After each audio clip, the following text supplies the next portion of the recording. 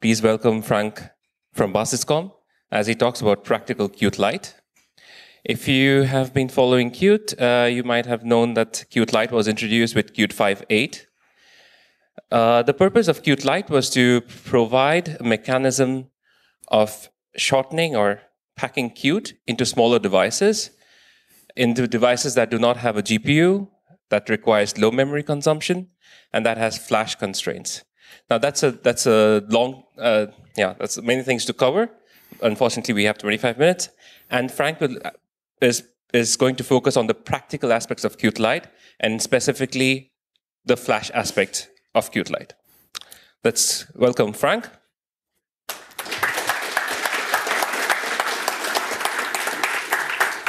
Thank you. Uh, thanks for the introduction.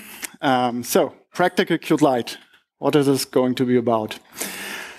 Um, I will give a short introduction, bit of orientation, uh, the big picture Qt within the Qt company, and what practical Qt is about. That doesn't mean that Qt isn't practical overall, but uh, really the aspects I picked out. I will um, show some basics, how to slim down um, a firmware. And this is something you can already do without going into custom Qt configurations, which can be a bit tricky. Uh, so just to have the basics covered, which can already buy you quite a bit, um, before having a look into Qt Lite itself. And in the conclusion, I will present a, a showcase we did uh, with some real numbers, what can be achieved in terms of size reduction. So, what is Qt Lite? Um, this has been nicely introduced uh, in the Qt uh, in the Qt blog by Niels, with a topic that is really uh, covering a lot of ground. Um, the uh, the short version of it is Qt Lite is about making Qt a viable option for smaller devices to make Qt, yeah, to make Qt an option on these. Uh, meaning that you not necessarily need a GPU that uh, things like uh, the ongoing efforts to uh, slim down the memory consumption of the QML engine, and of course that you be that you're able to um, to live with less flash storage, and this is a big this is basically the big picture, the whole story, and practical Qt Lite is a subset for me. Um, I've picked picked a subset. I only have 20 minutes, more, give or take, so I need to focus a bit. So I picked um, as a as a topic how to reduce the footprint of uh, of Qt in embedded Linux firmwares. Um, this is a focus. Uh, some of the ideas presented can also be applied to mobile applications, for example, where it's also interesting to get down with the package sizes. Um, and it's very much focused on what can be done here and now and not so much on the on the big story that is developing over also over some time. Uh, a short disclaimer: what I won't talk about, so so nobody is. Uh, sorry. Um, I won't talk about overall techniques to reduce the size of embedded Linux firmwares. Um, this is already well documented. If you're interested in that, there are good presentations from the Linux Foundation, from the um, European um, Linux ELC, European Linux Conference Embedded, something like that. Um, so um, have a look there if you're interested in that. Qt might be a, often a big part of such a firmware, but it's not necessarily the only thing that's making your firmware fat. So have a look there. Um, I also won't talk about overall general purpose techniques to reduce the size of your C, C++ program. This is all well documented. Hit Google for information. So I really want to focus on, on Qt. Um, don't get me wrong, these are still important topics you need might need to cover to get to your target, but um, outside of scope. So, the basics. Before I dive into really using Qt Lite, I want to cover, uh, dwell a bit on, on, some basics we should also cover.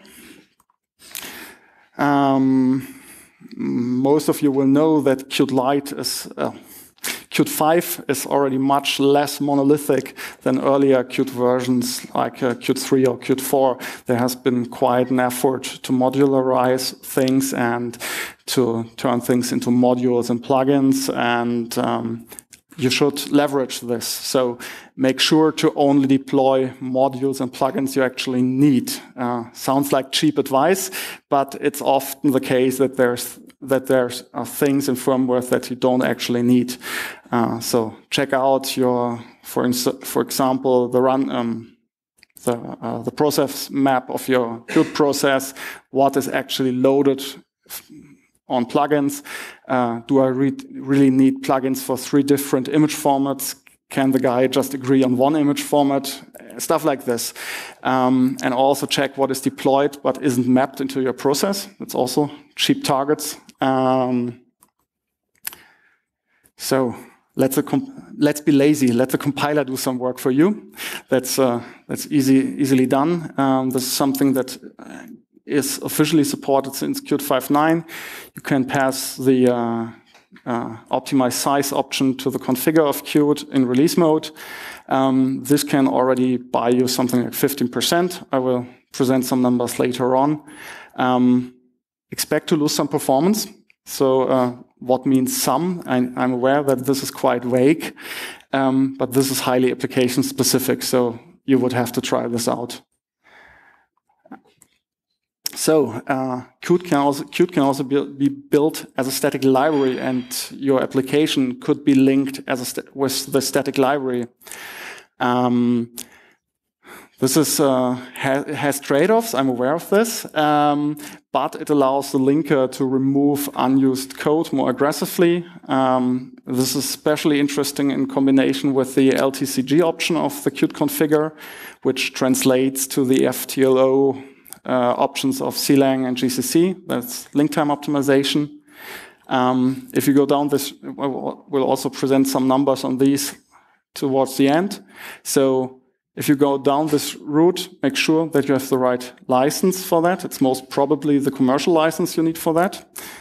Um, and it's also only a viable option if you have a single Qt application on your device. So if you have a multi-process, setup with multiple Qt processes. Um, that's not most probably not a viable option because Qt is linked into several processes, which will blow up the binary size again. So, um, but we are targeting small devices, most probably only one Qt process. So, could be interesting. Pitfalls. Um, this is something I often hear. I, I do, I'm doing a static build and my binary just got bigger. Um, so this is documented but often overlooked. Uh, be aware that QMake is, has a convenience feature to automatically import all the plugins you need for a static build, and it will also add some initialization code to your application to initialize the static plugins. Um, there are several options to control this. Uh, this one here, the config minus equals import plugins, is the most radical one. It's just disabling this feature. And uh, after you've done this, you would have by hand to really import all the plugins you need and to call the initialization routines. Um, this is well documented in the Qt documentation. Just Google for uh, Qt static plugins and you will find the information. So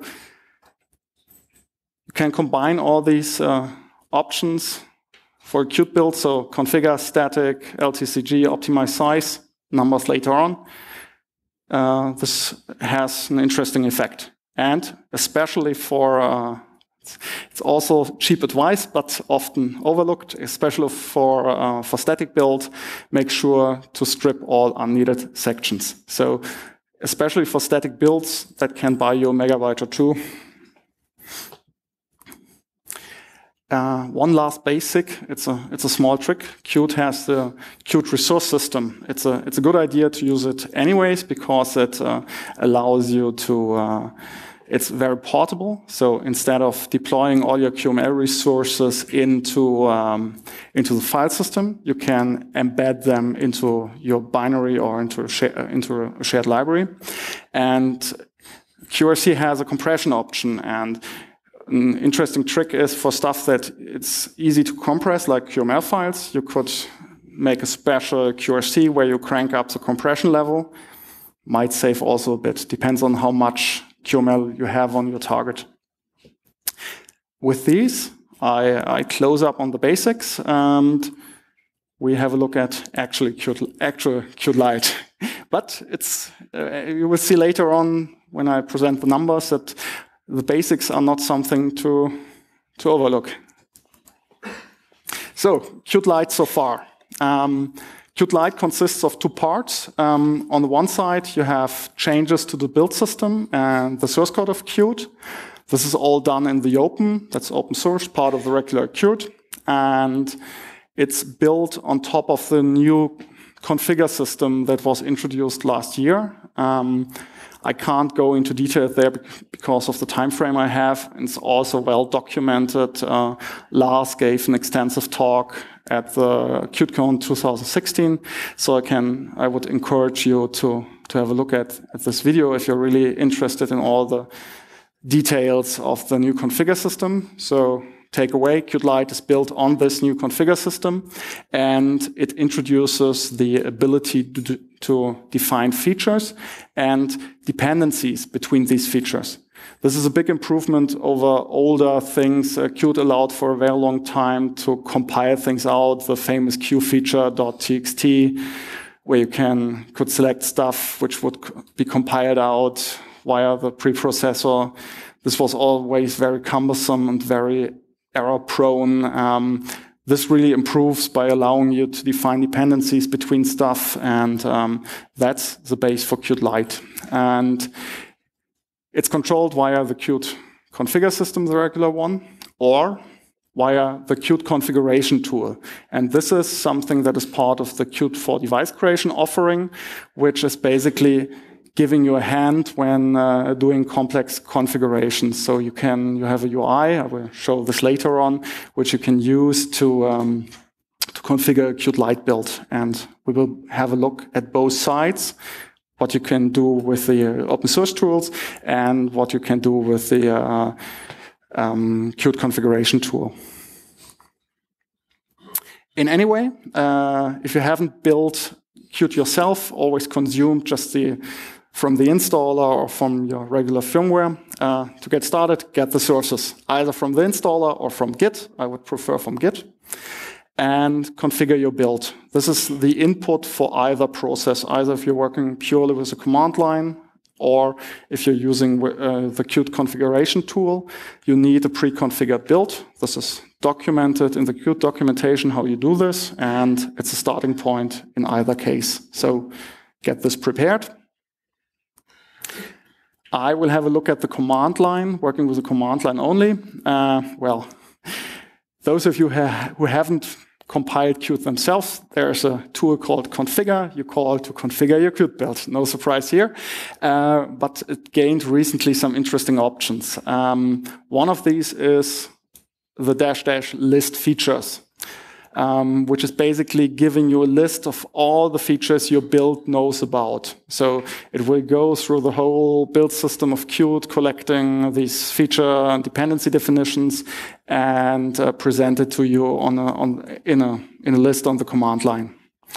Um, you can then pick pick a feature. They have names. A feature could be um, cuticle controls to sprites. Or no, that's oh, yeah, cuticle controls to sprites or particles, that would be features.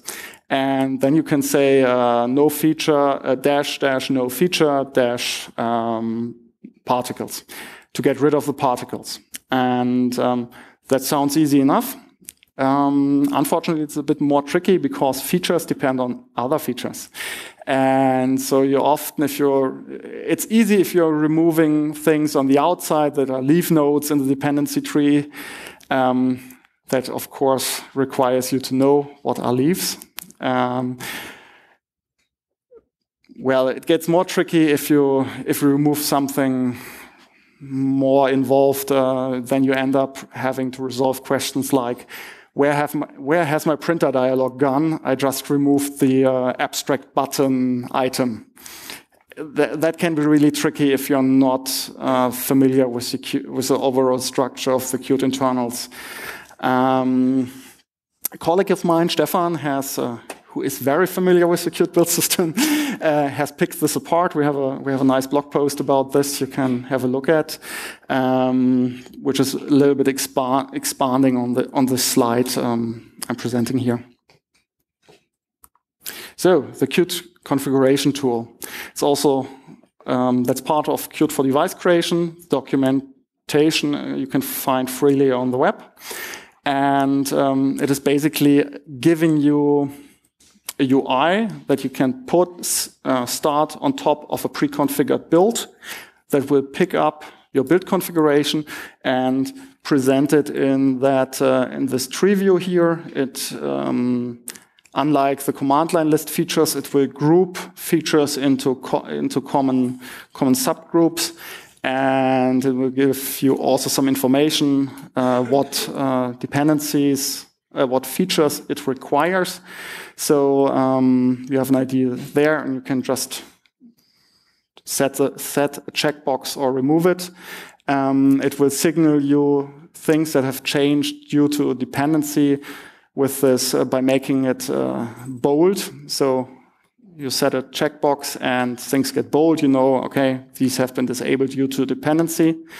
Um, that's quite nice already. Um, what's not what could be improved is there are no reverse dependencies. So I cannot, uh, I don't know what other features depend on the dame, uh, date time edit. So I would have to try this out before to get an idea. So this would be very nice to have. On, and it's also if you're doing large changes, you easily lose track. After some point, everything becomes bold, and there's little that's not so helpful there. Um, one thing that was announced, but I haven't found it yet, was to have um, configuration configuration presets for typically for typical application cases on which you can build on. I, I assume it was announced. I assume it's not yet there. So I hope so in either case, either way you came, you have to do run the build now. So you just do configure, redo, make, make install, and you're good to go. In theory.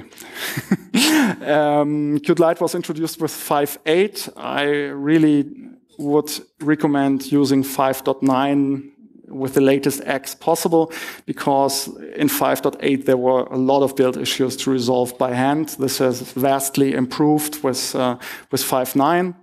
Um, you also have to make sure to disable uh, tools, examples, and tests because they are not covered by the Qt Lite configuration. Um, that's also not very prominently documented, so disable them.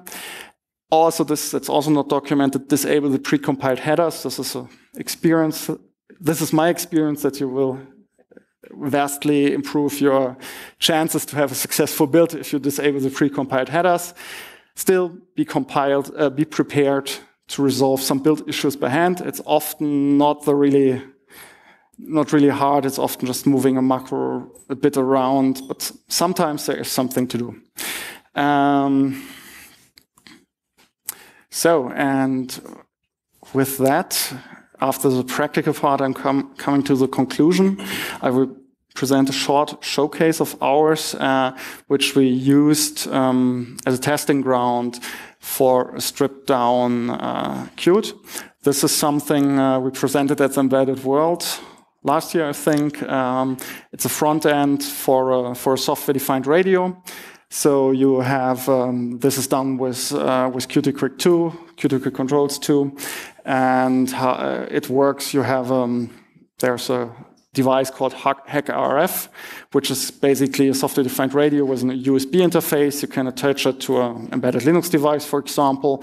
And um, we've built basically a, a, front end where you can um, go to the frequency band, tune in, change parameters on the device. There are different visualizations, uh, this waterfall diagram. And, um, well, we also wanted to use Qt Multimedia, so we uh, also did um, FM radio decoding in software, so you could use it. It was a very complicated way to listen to radio. Also, and this we used as a showcase for um, for a Qt Lite configuration. How far can we strip this down? Um, you might wonder why I did this on x86. Uh, the, I will also present some numbers on ARM. Um, this was mostly due to being able to quick, quickly iterate, which was much easier there. Um, so we started out with 26 megabytes, nearly 27 megabytes. And um, this here is a default configuration. So like Qt is built with the dependencies it has detected. And this is a minimal configuration we created by hand.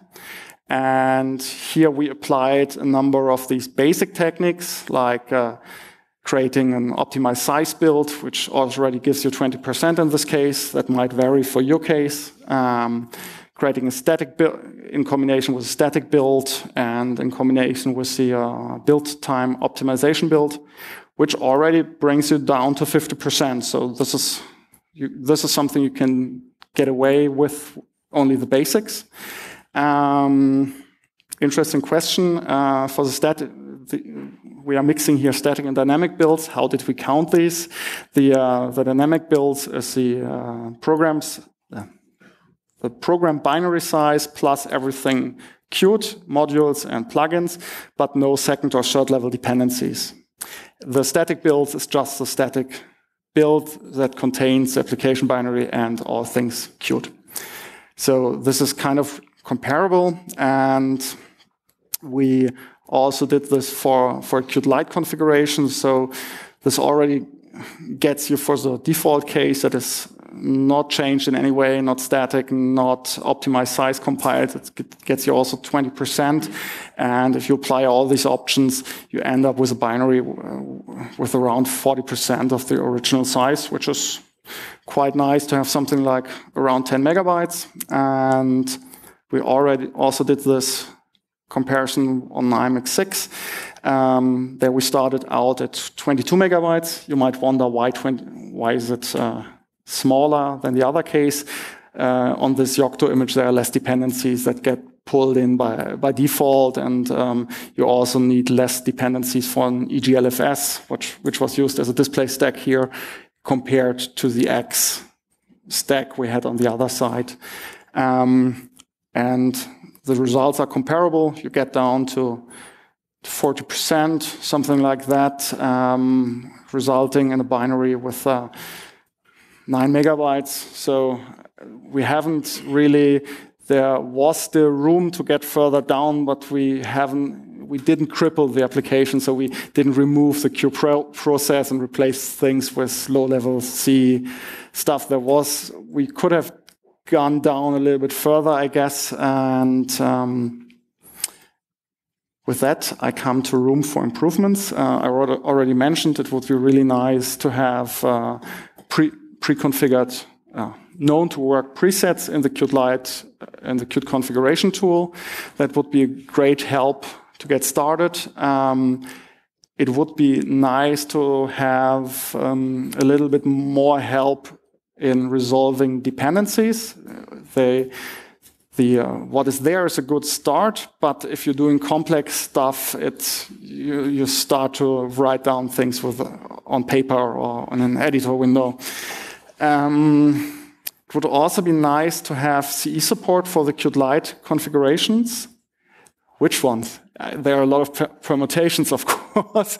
um, I, I, I, con I, guess this is not really handleable with a CE, but uh, if there are presets, it would of course be nice to have uh, uh CE support for these presets. So, in a conclusion, a smaller Qt is possible. Um, you can often reduce the size of your application quite a bit, um, even with relatively simple stuff by doing, letting the compiler do some work. Um, Qt Lite provides the base to get further down to create custom builds. Um, there is currently some Qt knowledge required to really resolve issues and to decide what goes in, what goes out. Um, but it's the base for even smaller builds, and I'm looking forward to using Qt on smaller and smaller devices.